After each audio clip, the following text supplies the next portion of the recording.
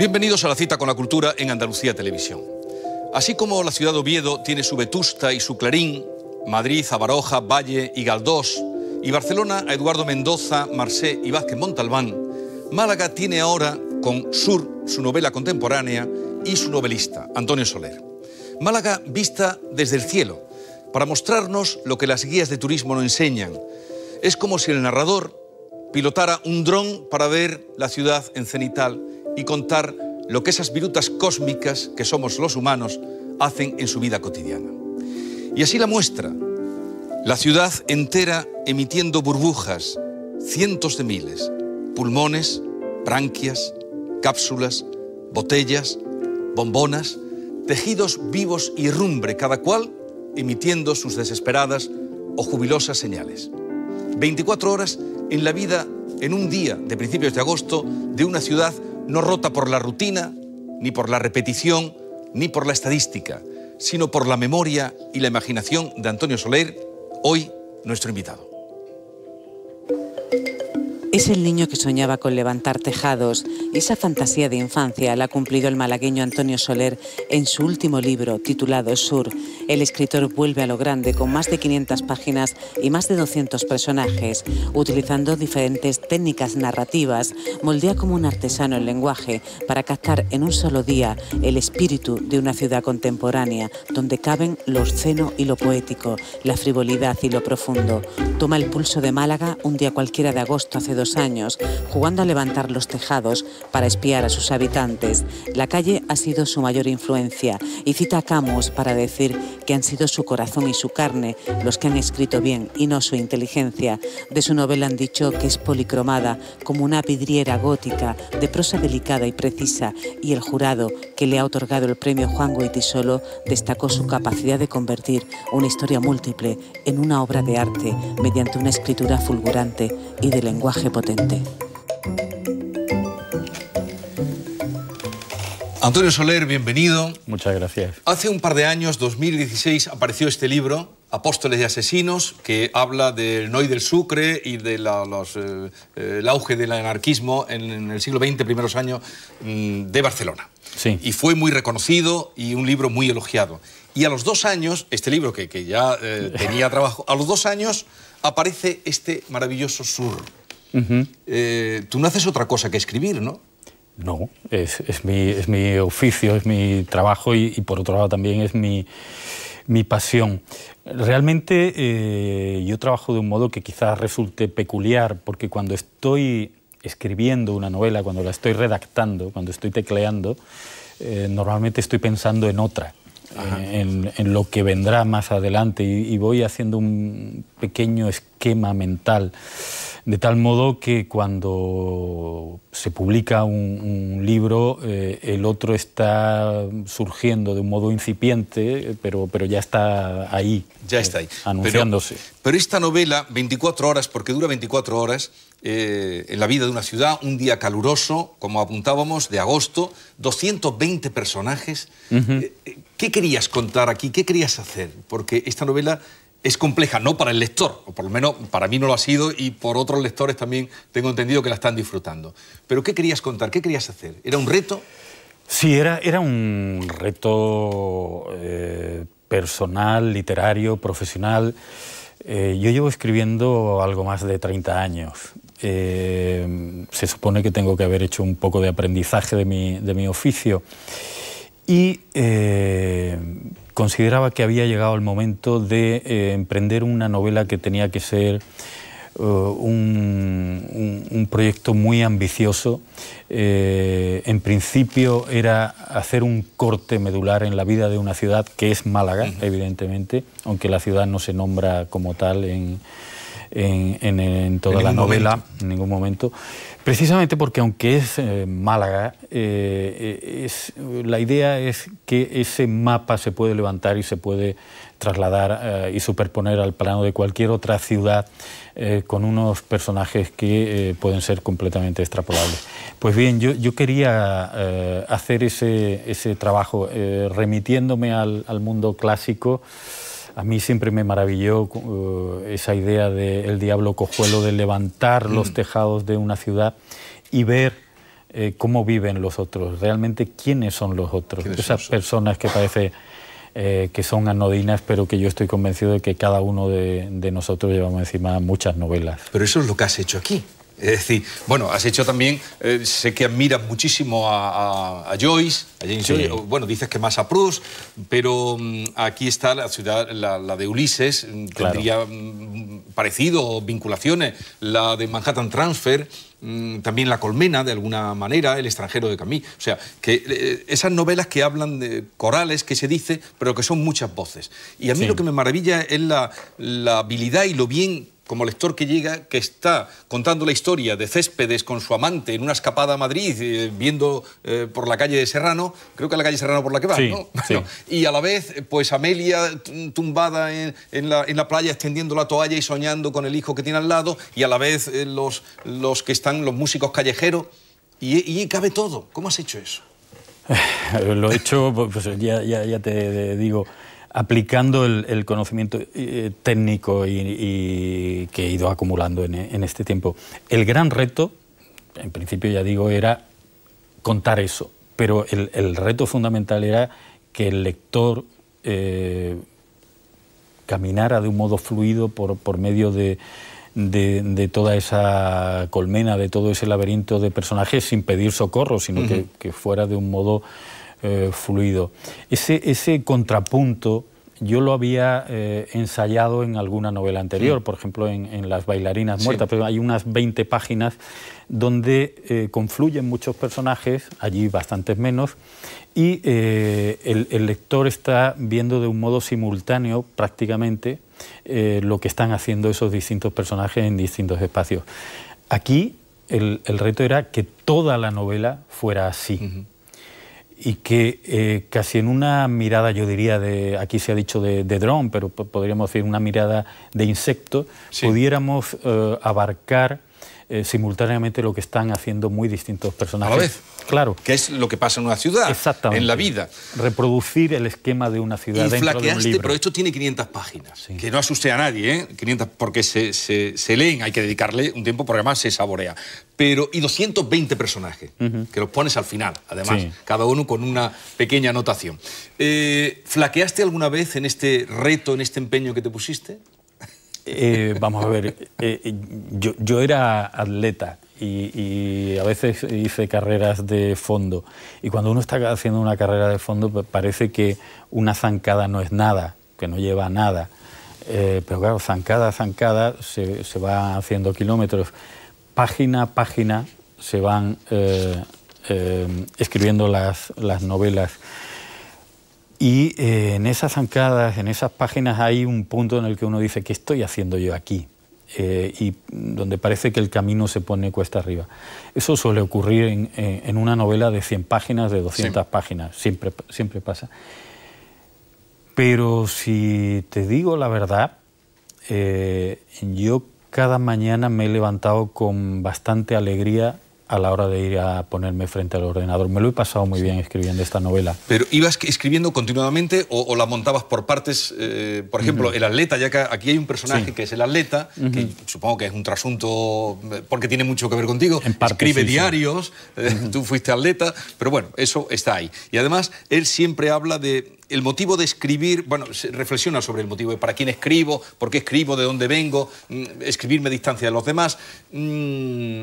Digo, que ¿cómo lo has montado? ¿Ibas escribiendo o, tenías mm, fragmentos como eh, la historia del vampiro, ¿no? Sí, hay, hay dos, mm, dos, fragmentos que estaban muy ligeramente esbozados, pero además eh, desde hace unos 30 años y sin concluir, y eran retazos. Uno eran unos apuntes que configuran luego, manipulados, el diario del atleta, y otro era un relato eh, de, género negro, que era el, vampiro de la calle Molinillo, que nunca acabé de, publicar, nunca acabé de escribir porque no me acaba de convencer. Eh, aquí lo he convertido en una parodia del género negro y está incrustado dentro. Eh, esas dos partes sí estaban, funcionaban de modo aislado, pero el resto de la novela, como tú bien dices, está eh, siendo narrado de modo simultáneo. Por tanto, es muy difícil de desgajar eh, un grupo, podríamos decir, de personajes, unas familias de, otras.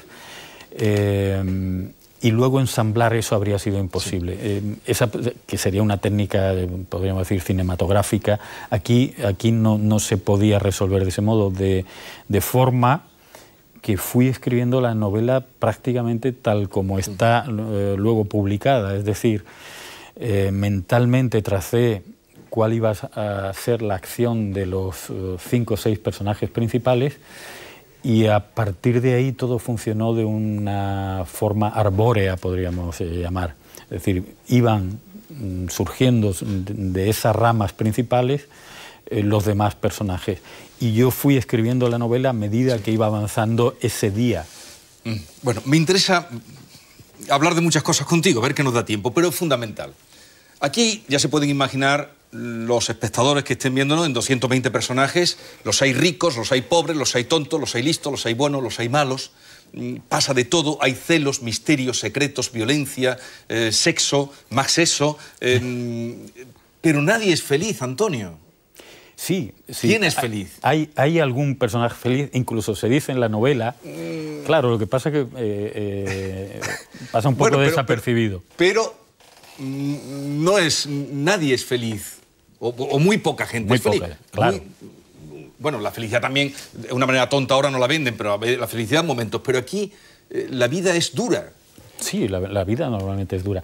Pero hay, hay, un momento en la novela en que se dice, Floren personaje de la novela, es feliz y, eh, cada día está deseando acabar su trabajo para irse con su mujer y su hija porque es feliz y tal. Y el narrador dice, pero, y vamos a hablar poco de él porque la felicidad tiene poco que contar. Eh, hay otro personaje por ahí que también parece que es feliz, eh, médico, compañero de la doctora Galán. ¿Que es, ¿Quesada es? No. Sí, sí, sí. pero yo siempre he, dicho que, y como el narrador, que la felicidad tiene muy poco que contar y lo demuestran, por ejemplo, los eh, eh, cuentos infantiles. Después de esas cosas tan dramáticas que ocurren en, los cuentos infantiles, cuando se dice fueron felices y comieron perdices, ahí se acaba el cuento, porque eh, ¿cómo continuaría eso? Pues mire usted, el día siguiente también fueron muy felices, la literatura está construida a base de de conflictos y, de, y, de, dramas. Y, yo lo que he intentado reproducir es eso. Sí, pero tú ves así la sociedad. Sí. Dura. Eh, no hay sitio para el optimismo. Aquí los personajes sobreviven. Yo tengo la sensación de que están sobreviviendo todos. los que, en, todas las clases sociales, porque está desde médico, no vamos a detenernos, empieza con un hombre que aparece moribundo, pero eso poco importa para lo que... Pero todos sobreviven, ¿no? sobreviviendo como pueden.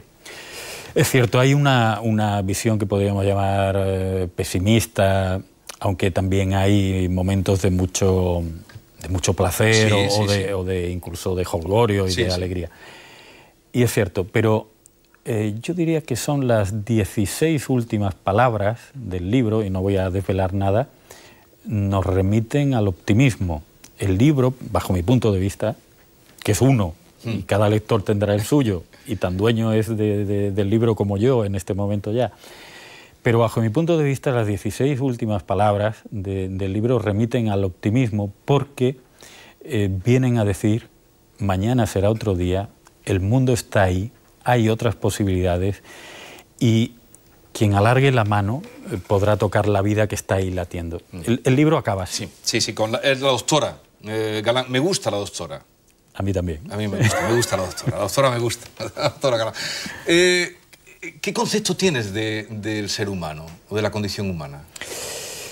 Pues eh, básicamente la de alguien eh, extraviado, hablo del ser humano sensible, que intenta encontrar un, camino en, medio de un lugar en el que hay claroscuros esa es mi, idea de, la vida. Yo cuando tomé conciencia de, mí mismo, como, como, un individuo, eh, tomé conciencia de un ser perdido que no sabía dónde estaba. Ese, fue mi descubrimiento primero de, la vida, de mí mismo, de la realidad. Eh, me parecía que los demás tenían una idea muy clara de dónde estaban y de quiénes eran. Y por tanto eso me hacía estar todavía más perdido. Luego con el tiempo descubrí que no, que los demás estaban tan perdidos como yo, pero que iban a lo suyo y obviaban eh, ese extravío primero que a mí me tenía desconcertado. ¿De qué te ha salvado la literatura? Pues en parte de, ese extravío. Eh, la literatura me ha situado en el mundo, eh, he descubierto cuál era mi lugar bajo el sol y eso no es poco. Y además... Eh, bajo el sol. Vamos a quedarnos con el sol porque aquí, esas 24 horas en la vida de la ciudad que aquí se cuentan, con todos esos personajes. Yo es que, mm, no sé, me ha encantado el libro. Mira, hasta he buscado una cosa de hormigas, no sé qué tienes con las hormigas, porque las hormigas tienen una importancia, pero el sol, el calor, es eh, aprisionador. Dice así, el terral, ese es el viento de Málaga, que viene de la tierra. El terral se ha hecho el amo de todo y gobierna las cabezas, entra por los poros, los oídos y por cualquier orificio abierto en el cuerpo de cualquier ser humano, bestia, máquina, casa, puerta, grieta, ventana, rendija, herida o llaga, y todo lo reseca, todo lo deja flameando, no se sabe si más vivo o muerto después de su paso conmocionado, alterado, como los incendios alteran los montes, las calles, los edificios y avivan y perturban los espíritus. ¿El calor crees tú que desata las pasiones y la agresividad? Sí, sí, y desde luego trastoca y, trastorna a, los seres humanos y también incluso a los eh, animales. Ahí hay una referencia también muy clara al ver Camille al extranjero, eh, en ese episodio en el que eh, el protagonista dispara eh, sobre un árabe y dice eh, más o menos, si no hubiera habido tanta luz, si no hubiera hecho tanto calor, quizás no habría disparado, quizá los ánimos habrían estado un poco más aplacados. Yo aquí efectivamente he utilizado el, calor para tensar las situaciones, para llevar a los personajes un poco más allá dentro de sus, de sus límites. El otro día, hablando de tu novela, porque la, la he vivido eh, y, conozco esos personajes. Yo creo que todos los conocemos. Y me llegan, y me llegan. Estaba hablando de tu novela y me dicen, es que un compañero me dijo, es que desde que Antonio Soler se ha radicalizado, escribe como Dios. Y, y digo, leche, es verdad, porque tú has hecho otras novelas, digamos, más pensando a lo mejor en el público, no, no lo sé, pero que ¿Qué era más fácil? Esta novela es difícil de, crear, pero, pero es carne, mm, carne cruda ahí para, para vivirla. Te has radicalizado, has dicho, hoy voy a hacer la literatura que quiero hacer y se acabó. Eh, a lo mejor he vuelto a mis orígenes. Eh, sí, porque, Sí, cuando, cuando yo recuerdo la primera novela que publiqué en Anagrama, eh, Jorge Herralde dijo, es una novela muy buena, pero hay que leerla con escafandra para poder respirar. No lo sé, eh, no, lo sé, pero eh, sí es cierto que eh, antes hablábamos de retos. Pues sí es cierto que cuando yo pensé escribir esta novela, dije, me voy a olvidar del ruido que hay fuera. Y cuando digo el ruido, digo también el ruido editorial. Sí. Sí. tengo la posibilidad, porque yo entonces pensaba publicarla en Galaxia, luego a través del premio Juan Goiti solo, pues también he publicado en Galaxia. Tengo una editorial que creo que me va a respaldar en un salto mortal. Si me estrello, me estrellaré, pero no, no voy a poner ninguna red. Ese, ese fue el presupuesto de partida. Y en ese punto, pues sí, hay una, una radicalidad evidente de apuesta por lo literario. Por hacer la literatura que tú Y a mí me acordaba leyendo esta novela también del Camino de los Ingleses, con la que ganaste el premio Nadal, que claro, el camino de ingleses era la juventud, eran los sueños. Aquí también, aquí está fulminado ese paraíso. En parte sí, aunque fíjate. Eh, salen algunos personajes. Sí, salen, salen, sí, algunos. salen algunos. Pero eh, el, chico adolescente, uno de los protagonistas. El, quizá el, chico adolescente con más protagonismo dentro de la novela, después de pasar un momento de gran dificultad y un choque con la vida muy, muy serio, eh, acaba el día, en esa noche, en esa madrugada, diciendo, bueno, también todo es posible, todos los caminos están abiertos. Y en referencia al camino de los ingleses, también hay, hay un pequeño ensayo de manejar una colectividad de personajes. Con esa novela, eh, Miguel Delibes, un día en su casa, eh, ya el muy mayor, eh, había leído la novela y me dijo, esta novela es muy difícil de escribir porque sale mucha gente. Pues esta todavía es bastante esta más todavía mucho más, pero era difícil y luego se llevó al cine, Antonio Banderas la, llevó al cine. Em, a mí me recuerda leyendo también, aparte de los que hemos citado, que además tú los citas aquí, de, Joyce, que tan influido, Malcolm Lowry, es decir, tus referentes, me recuerda también mucho a Chirves. que publicaba en Anagrama, que era un escritor también Magnífico. excelente. Y en la manera de contar, con pocos diálogos, eh, cortante, ir a lo directo. Yo, yo, yo, admiraba mucho, y lo admiro, eh, digo, lo, he puesto en pasado porque por desgracia murió. Pero sí, sí he admirado mucho a Rafael Chirves, aparte he tenido la suerte de viajar con él, he pasado días con él en Marsella, en Sao Paulo, y me parecía un escritor absolutamente formidable. No lo he tenido presente a la hora de escribir. Cuando uno está escribiendo, en cierto modo, se borra todo. Pero digo, el, estilo, él entraba también en los conflictos, era, era de los pocos que escribía novela contemporánea, de lo que está pasando ahora mismo. Porque aquí no se habla de política, pero está. Los sucesos que acaban de pasar en Málaga Terrible la semana pasada podían estar perfectamente aquí. Absolutamente. Sí, sí. yo... Eh, los más terribles que han pasado la, la semana pasada podían estar, están aquí. No es eso del hombre que tira a la niña, pero, pero Podía haber ocurrido, sí. sí es lo que te decía. Yo le he intentado tomar el pulso a una ciudad contemporánea con, con todos los eh, conflictos que hay y con todos esos estratos sociales, eh, cada uno con sus uh, diferentes eh, personajes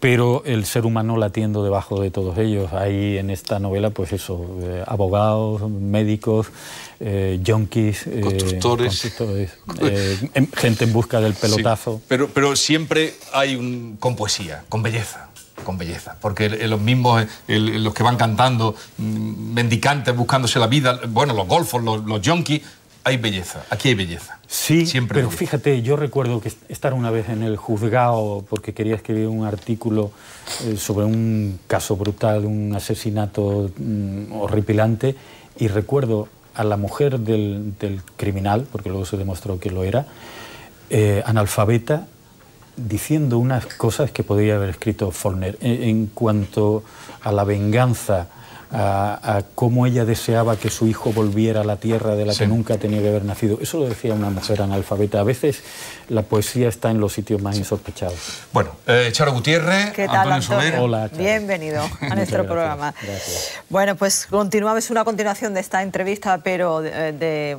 con unas preguntitas de respuesta muchísimo más breve. apenas, apenas dos palabras, Antonio, por favor. ¿Escribir es lo mejor que sabe hacer? Sí. Una. sola. ¿A quién daría el Nobel que este año ha quedado desierto? Pues eh, hoy día, mañana podría decir otro, pero yo se lo daría a un escritor que me parece mm, extrañísimo y apasionante, César Aira. ¿En la vida es mejor tener talento o tener suerte? Hay que tener suerte para esperar que el, talento encuentre su camino. ¿Qué consejo regalaría a Pedro Sánchez para subir un poquito el nivel cultural del país? Educación en los colegios. En este momento, ¿quién es para usted una persona cuerda en este país? Luis Mateo Díez, que ha publicado una novela que es una auténtica locura. También en Gutenberg, no lo he leído todavía. Eh, ¿Qué referéndum convocaría ahora mismo en España que nadie está dispuesto a convocar? No, ninguno. ¿Andalucía es tragedia, comedia o es drama? Yo creo que es ironía, que es una forma de la inteligencia. ¿Qué tópico mítico ha hecho más daño a nuestra tierra? Yo creo que la pandereta permanente. ¿Prefiere tener razón o tener paz? Razón. Y Antonio Soler, ¿a qué hemos venido al mundo? A intentar saber qué es el mundo. Bueno, pues como, como, dice el lema de la mm, sociedad que tienen, eh, ¿qué mañana, ¿cómo es el lema? De... Ah, qué, grandes estamos esta mañana. Qué grandes estamos esta mañana. Pero ya no podemos detenernos en eso, búsquenlo. Eh, gracias, eh, Antonio, y felicidades porque esto es novela, novelón. Muchas gracias. Hasta la próxima. Muchas gracias Antonio.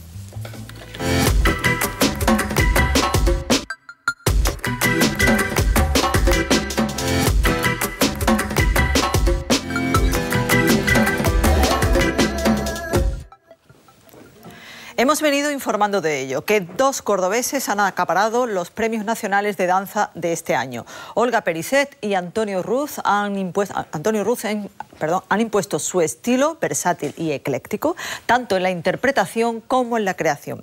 Vamos a mostrarles por qué. Pues porque a sus 43 años, Olga Pericet ha demostrado que puede bailar lo mismo un flamenco estilizado y muy grácil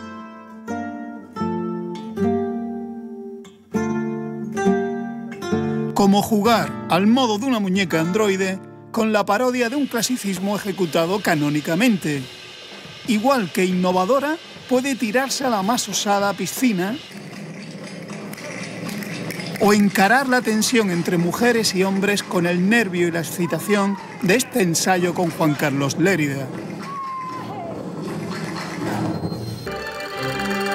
Magnética y vibrante, Olga Pericet puede resultar, pues, tan clásica como intrépida. Antonio Ruth, 42 años, es también otro políglota que lo mismo concibe para el Ballet Nacional de España esta potente Electra, que coreografía la soledad y el desconcierto del hombre contemporáneo que ha perdido su identidad, o que muy dotado para armonizar el movimiento con el pulso musical, se arriesga a bailar la desnudez de Bach o le inyecta energía y dinamismo al barroco español de la Academia del Piacere, poniendo a sus músicos a bailar. Ruth y Pericet, Pericet y Ruth. Maneras cordobesas de entender la danza. Las cosas de un oficio globalizado. Paisanos y premiados, sí, pero juntos solo trabajaron una vez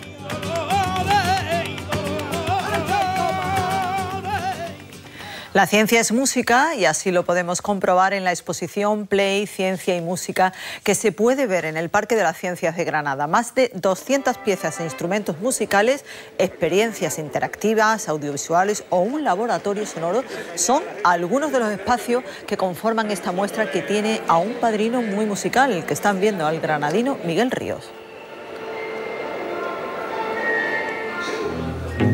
Bueno, pues sin duda la música es una obra de arte y a veces la propia cubierta de un disco también. Lo pueden comprobar en la exposición Arte y vinilo de la Sociedad Económica Amigos del País en Málaga. 300 ejemplares que pintores, ilustradores, fotógrafos y diseñadores de prestigio han realizado para elaborar portadas de singles y LPs.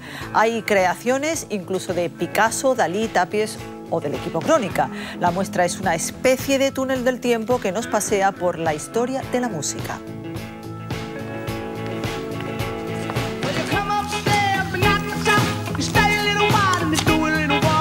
abundancia de música hoy en nuestro programa, Jesús. Sí, y de buena literatura, porque no me resisto a recomendarles este libro Sur de Antonio Soler, del que hemos apuntado algo, pero de verdad, entren en él. Hasta luego. Adiós.